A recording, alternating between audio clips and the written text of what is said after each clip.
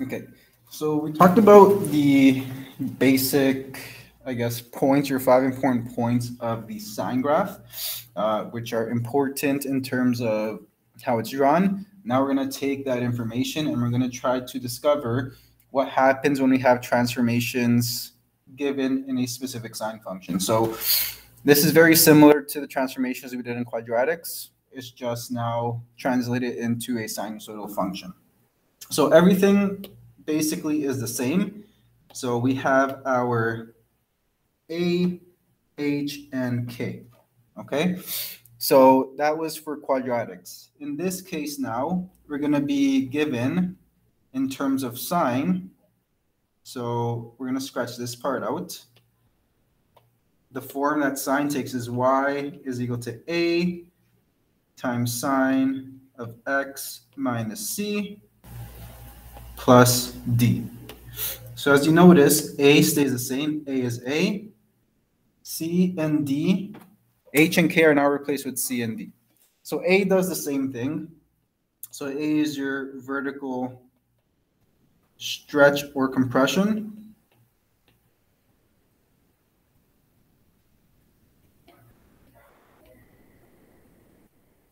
C is the same idea as H in quadratic. So your C tells you how many units you're shifting left or right.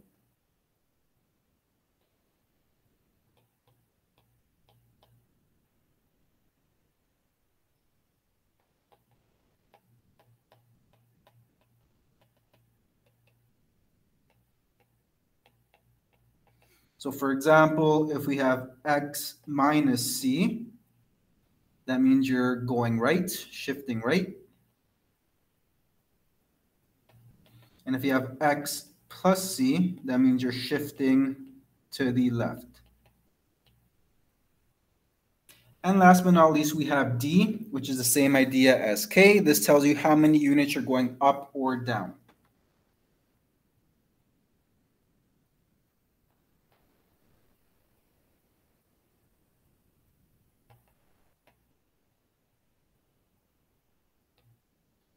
So remember your D refers to your axis of symmetry. So the equation of the axis, that's where the where the sinusoidal function splits in the middle. And this happens at a horizontal line.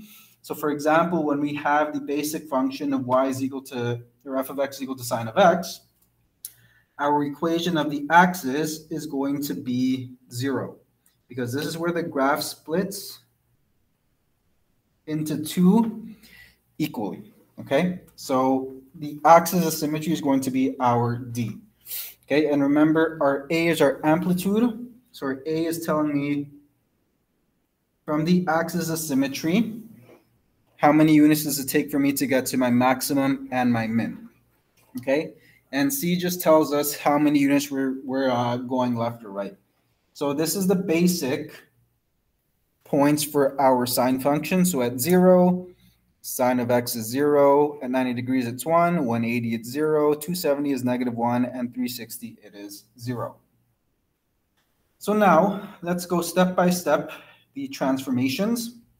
So for example, we need to understand a vertical transformation. So we're going to have, we're going to use f of x equal to sine of x. So now, how does the function g of x is equal to sine x minus 3 transform the function of just regular sine x? So again, I'm going to draw my, my regular function sine x. So let me just make this a bit skinnier. So I have 1, negative 1, negative 2, negative 3, and negative 4. Okay, so I'm going to go my basic 90, 180, 270,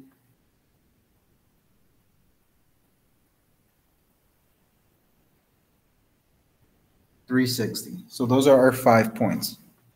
So we're going to start off by drawing just regular sine x using our blue pen.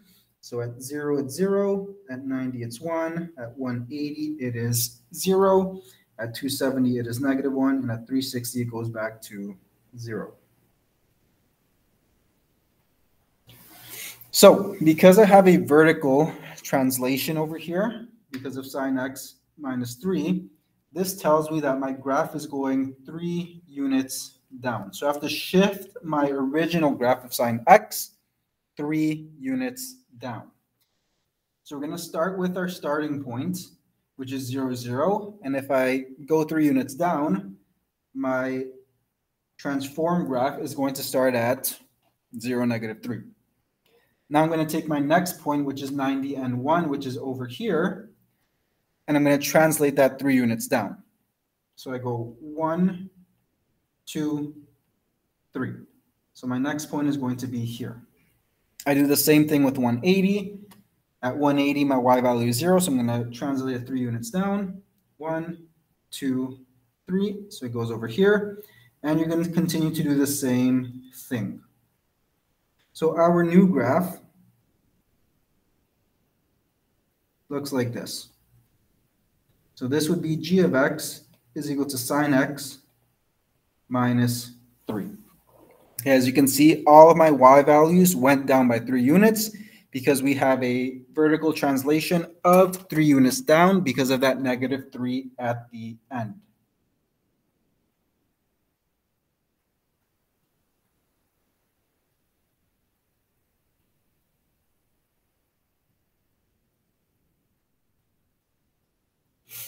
So how does the function change? My original function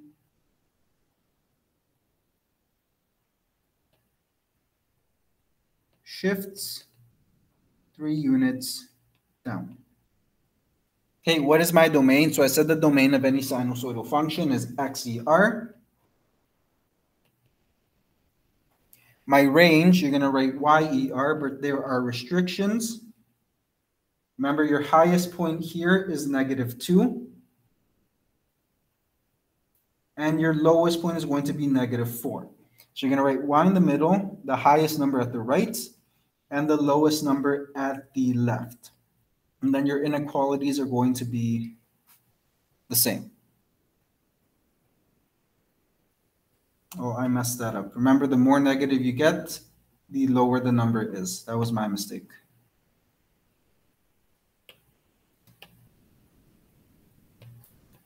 So my highest number is negative 2, and my lowest number is negative 4. So it's going to be yer such that y is less than negative 2, less than or equal to negative 2, but greater than or equal to negative 4. Now my equation of the axis is going to change.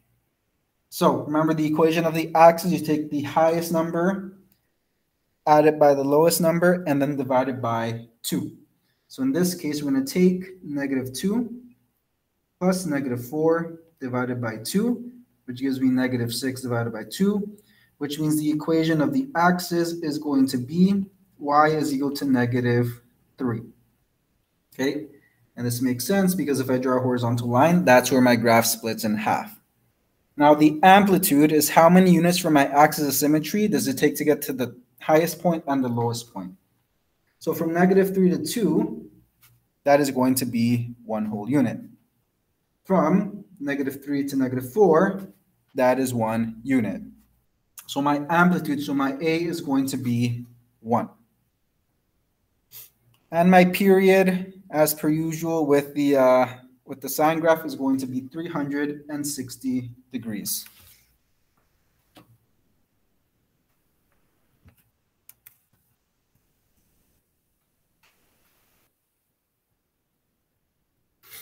So now we just looked at a vertical translation up or down. Now, let's take a look if we have a horizontal translation. So again, we're going to work with the same thing. I'm going to make my scale. So 90, 180, 270, 360. Actually, for the sake of this question, I'm going to go up by 30s.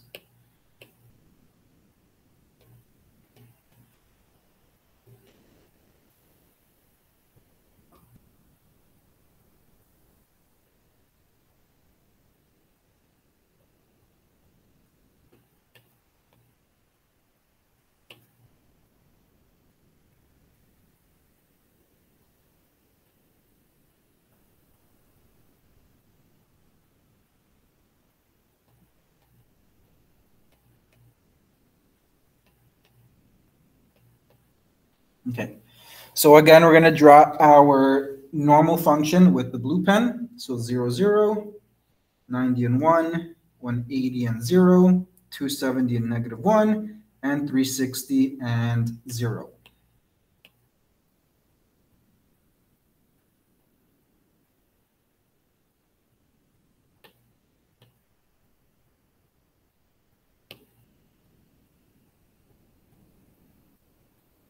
Okay.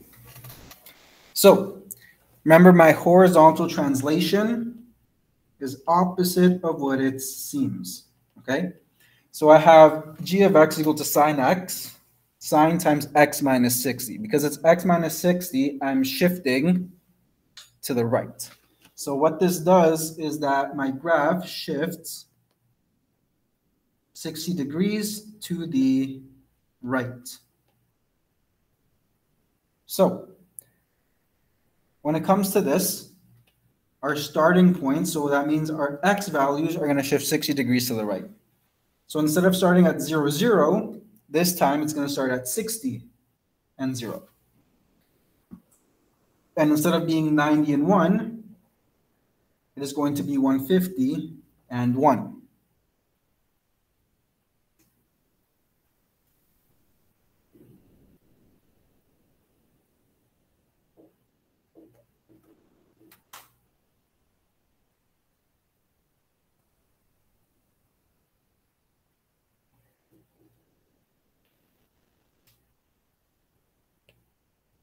And then you keep going and going.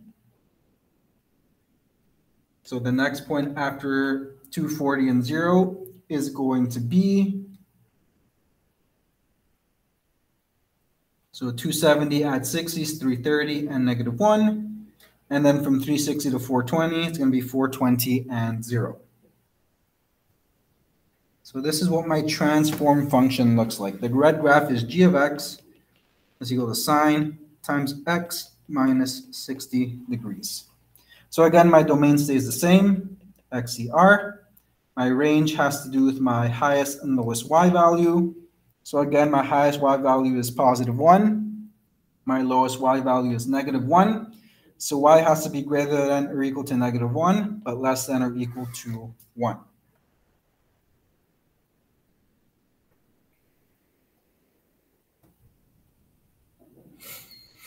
My equation of the axis, because it was a horizontal translation, stays the same. So y is equal to 0.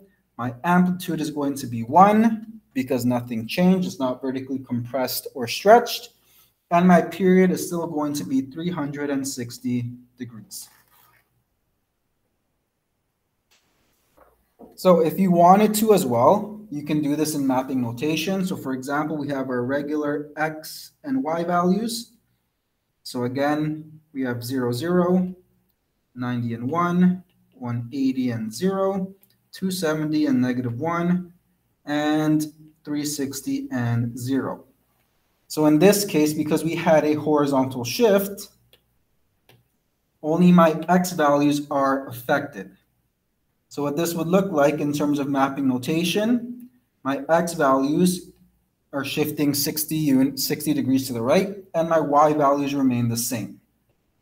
So the first transform point, again, we're going to sub in our x's in for x. So if we sub in 0 for x, I get 0 plus 60, which is 60. And then I'm going to sub in my y's for my y, which gives me 0. And as you can see in our graph, that is what we got. The next one is going to be 90 plus 60, which is 150 and 1. If we go back, that is what we got as well. And then you keep going. So 180 plus 60 is 240 and 0. Then we get 330 and negative 1. And then we get 420 and 0, which is perfect, which is what we wanted the whole time. So you can do it with mapping notation or you can just do it visually. So now the next one, we're going to have a combination of a horizontal shift and a horizontal and a vertical translation up or down. So I have sine x plus 45 plus 2. So this function shifts because it's x plus. shifts 45 degrees to the, to the left. And it is a vertical translation of two units up.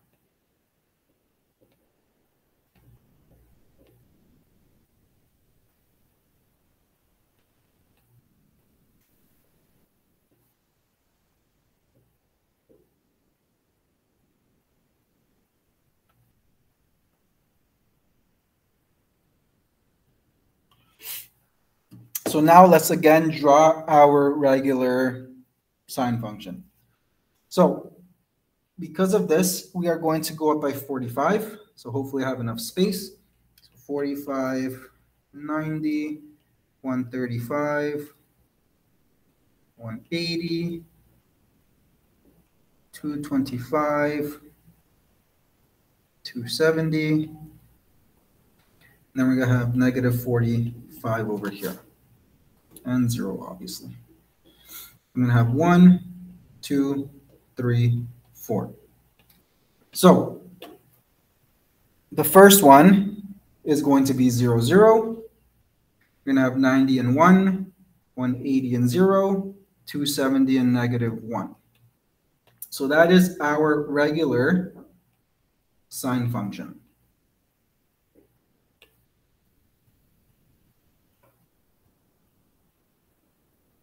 Okay.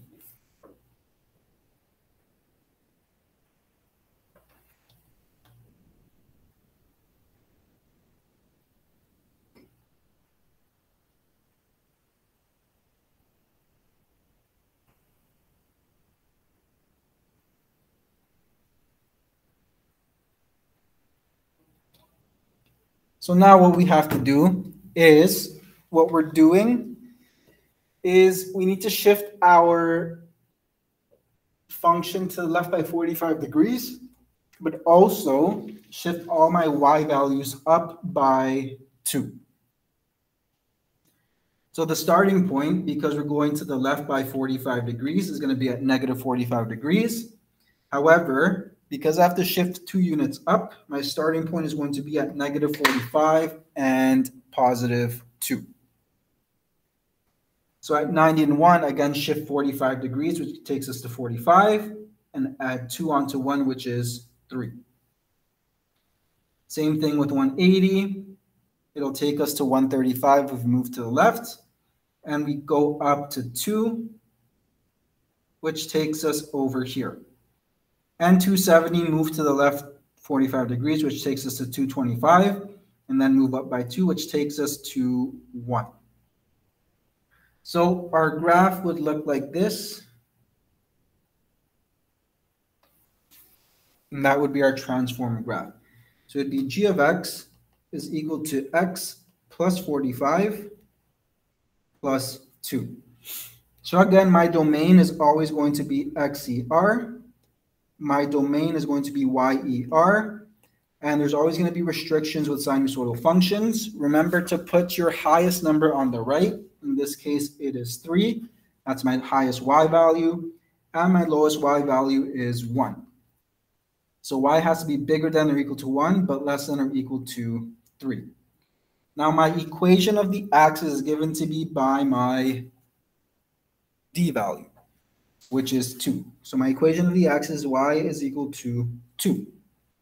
My amplitude is still one because I'm one unit away from the axis of symmetry from my highest and lowest point. And my period is still going to be 360 degrees.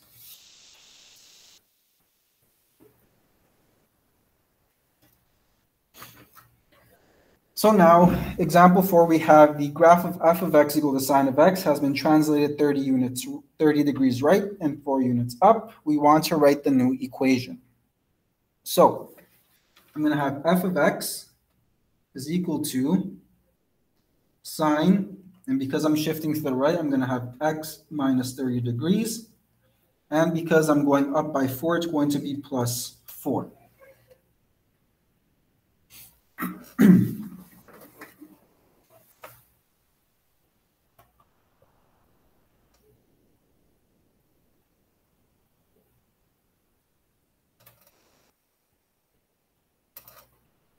For number five, it wants me to explain the transformations given the graph. So if you look at this graph, f of x, the green line, is our regular time function, and g of x is our transformed function. So we're going to have to identify a couple of things. So let's identify what our axis of symmetry is, which I believe is over here, which is x is equal to negative 4. So my horizontal translation, so remember with sine x, it always starts at the axis of symmetry. So we're going to be focusing on this point over here. Actually, it looks more like this point right here.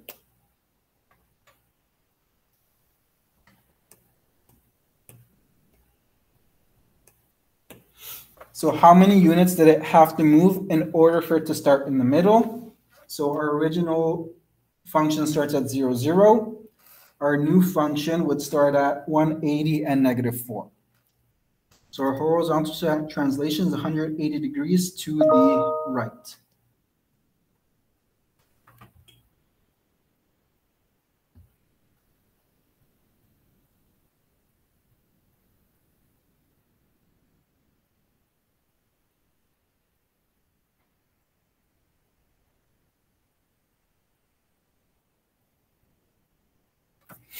So now my vertical translation is how many units up or down did I move?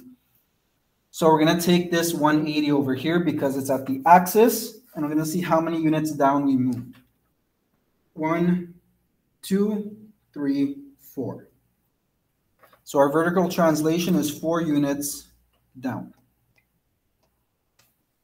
So now my equation would be g of x is equal to sine times x minus 180 plus minus 4.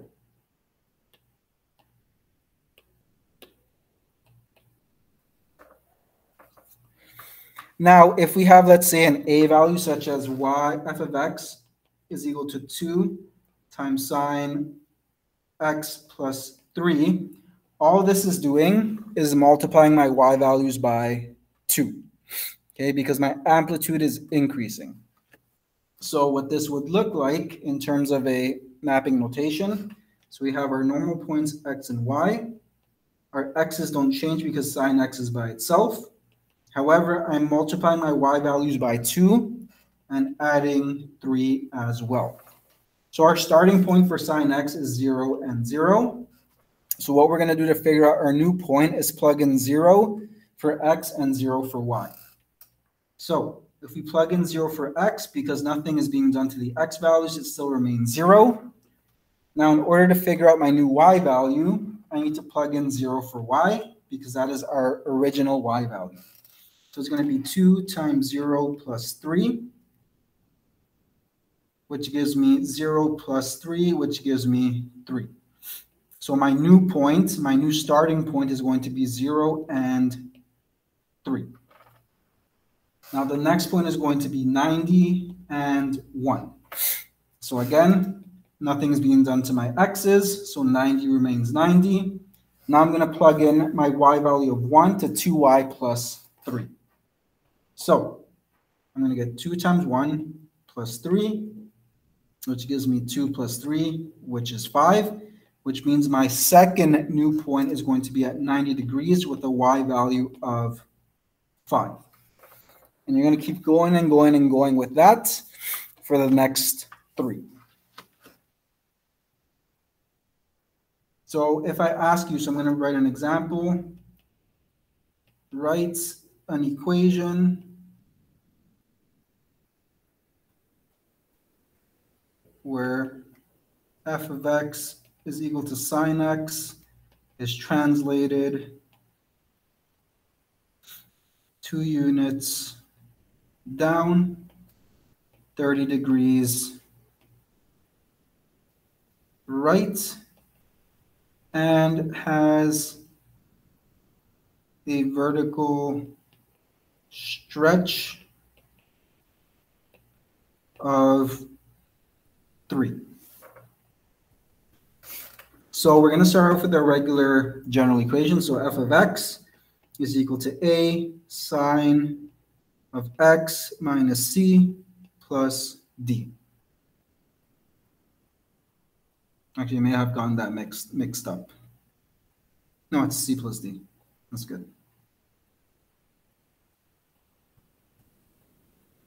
So we know our d is going to be negative 2 because it's going two units down. Our c is 30 degrees to the right, which means my bracket is going to be x minus 30.